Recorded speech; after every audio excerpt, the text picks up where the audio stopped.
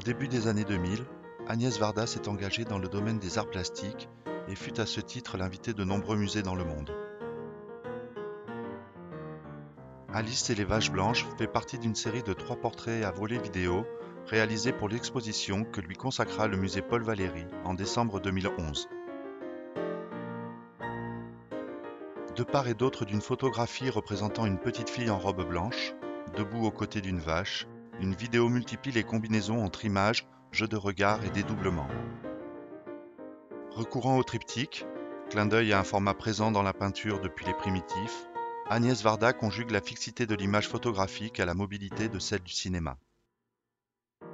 Je suis fasciné par l'image fixe d'un visage, un regard immobilisé, précisait-elle en ajoutant Et tout autour, la vie bouge. Dans ce dialogue intime entre la photographie et le cinéma, rien n'est définitivement arrêté.